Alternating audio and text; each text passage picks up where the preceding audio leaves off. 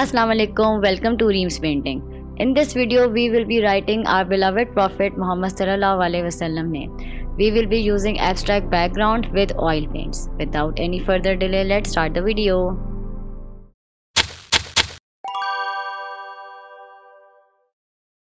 इसके लिए मैं यूज़ कर रही हूँ ten inch by ten inch का कैनवस क्योंकि मेरी पेंटिंग ये पेयर में है, अल्लाह और मोहम्मद का नाम लिखा है। तो जिस ट्यूटोरियल में मैंने अल्लाह ताला का नाम लिखा है, उसमें मैंने ऑलरेडी इसका बैकग्राउंड डिटेल में एक्सप्लेन किया है।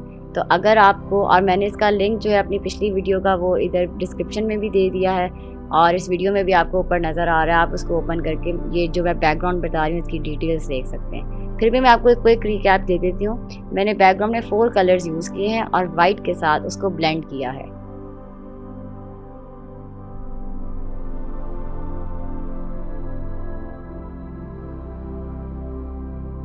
सो so, ये हमारा हो गया है बैकग्राउंड रेडी अब हम इसके ऊपर मैंने जो एक ट्रिक यूज़ की है मोहम्मद सल्लल्लाहु अलैहि वसल्लम का नाम लिखने के लिए वो मैंने अपनी लास्ट वीडियो में भी शेयर की थी। मैंने लिंसीड ऑयल से ये कैलीग्राफी की है। इसका फ़ायदा ये होता है कि अगर मेरे से कोई गलती हो जाए या उसकी सही लफ्ज़ नहीं बन रहा तो मैं उसको इरेज़ भी कर सकती हूँ विद टिशू पेपर और कोई भी टॉवल हो आपके पास। तो उससे आप इसको इरेज़ कर सकते हैं और दोबारा से जो आप रिक्वायर्ड आपकी है कैलीग्राफी वो आप लिख सकते हैं। ये बिल्कुल बिग बिगनर्स हैक भी है। और इसका एक और फ़ायदा ये कि जैसे देखिए, मैं इसे वाइट कलर से फिल इन कर रही हूँ तो मुझे ऑयल लगाने की ज़रूरत ही नहीं पड़ी, क्योंकि इस पर लगाने के साथ ही मेरा जो पेंट है, वो फ्लो ही हो रहा है। तो और लिखा भी बहुत स्मूथ जा रहा है। तो ये बहुत ही मज़े की ट्रिक है। आप लोग भी यूज़ कीजिएगा और कमेंट सेक्शन में मुझे बताइएगा कि आपको कैसी लगी। इसके ड्राई होने की फ़िक्र नहीं करनी ड्राई हो जाता है हार्डली एक दिन लगता है या उससे भी कम। तो आ, मैं डिस्क्रिप्शन में अपने प्रोडक्ट्स भी यूज़ कर दूँगी। मैं मैरीज़ का ही लिंसीड ऑयल यूज़ करती हूँ और वो ड्राई हो जाता है। तो आपने ड्राई होने की फ़िक्र नहीं करनी।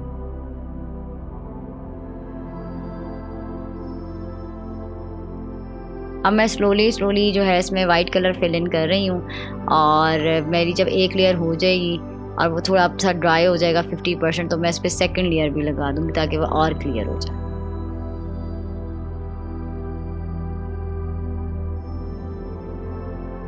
ये जो मैं ब्रश यूज़ कर रही हूँ, ये स्मॉल फ्लैट ब्रश है। ये मैंने ऑनलाइन मंगवाया था दराज से। अब तो हर स्टेशनरी शॉप से बहुत सारी वैरायटी है ब्रशेज़ की। तो आप आपको जो भी सही लगता है, आप उसके हिसाब से बाय कर सकते हैं।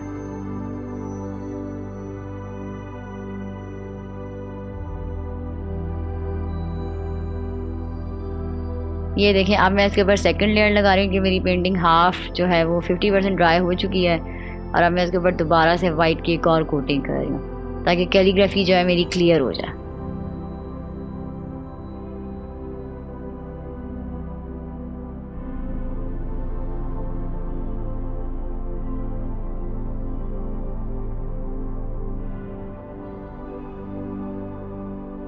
अगर आपने मेरे चैनल को सब्सक्राइब नहीं किया तो काइंडली सब्सक्राइब करें, मेरी वीडियो को लाइक करें और मुझे कमेंट सेक्शन में बताएँ कि आपको मेरी वीडियो कैसी लगी। क्योंकि मैं बहुत सारी वीडियोस लाने वाली हूँ रिगार्डिंग पेंटिंग मुझे फाइव इयर्स हो गए ऑलमोस्ट कि मैं पेंटिंग कर रही हूँ। और मैंने बहुत से ट्रिक्स एंड ट्रिप्स के साथ और अपने बहुत से फेलियर्स के साथ और एक्सपेरिमेंट्स के साथ बहुत कुछ सीखा है in the world of painting वो मैं सब आपके साथ शेयर करूँगी ताकि आप लोग वो गलतियाँ ना करें।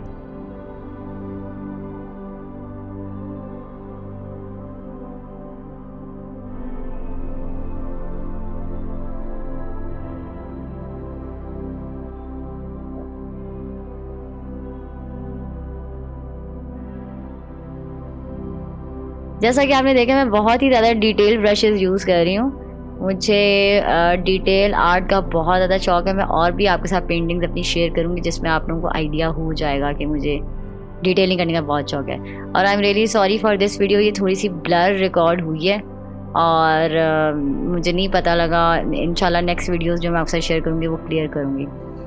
अब मैं इसको थ्री इफ़ेक्ट दे रही हूँ। वो इस तरह के मैंने ब्लैक और ब्राउन को मिक्स किया है ऑयल पेंट्स को।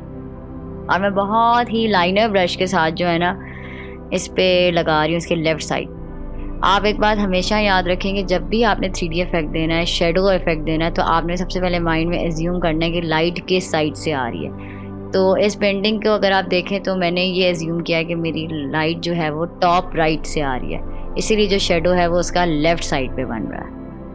ये चीज़ आपने माइंड में रखनी है, उससे प्रोपोर्शनेट बनती है आपकी पेंटिंग तो देखिए, मैंने लाइनर ब्रश से जो है वो ब्लैक और ब्राउन का जो ब्लेंड है, वो लगाया और ब्लेंडिंग ब्रश से जो है मैंने उसको ब्लेंड आउट कर दिया। ये देखिए, अब मैं उसको ब्लेंड कर रही हूँ। ये ब्लेंडिंग बहुत इंपॉर्टेंट है। अगर आप ये ब्लेंडिंग नहीं करेंगे तो वो एक सिर्फ़ लाइन ही नज़र आएगी और वो बिल्कुल भी अच्छी नहीं लगेगी।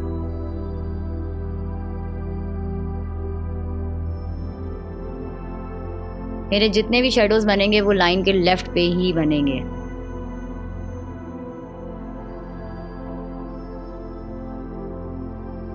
अगर आपको इस वीडियो में थोड़ा क्लियर नहीं है तो आप मेरी जो मैंने जिसका लिंक शेयर किया, जिस वीडियो का उसमें जाकर भी देख सकते हैं, क्योंकि जो मैंने अल्लाह की कैलीग्राफी की है, उसमें भी मैंने थ्री इफ़ेक्ट दिया क्योंकि ये पेयर में मेरी पेंटिंग है।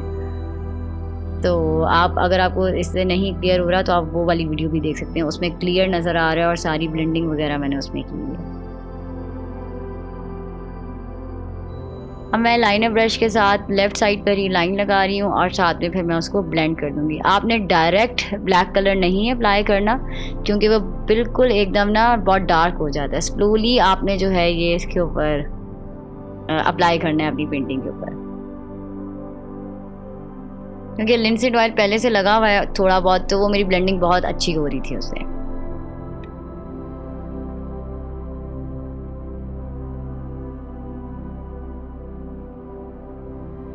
बस थोड़ी सी देर में हमारी पेंटिंग रेडी होने वाली है। अगर आपको मेरी पेंटिंग पसंद आई हो तो काइंडली कमेंट सेक्शन में ज़रूर बताइएगा और लाइक भी कीजिएगा।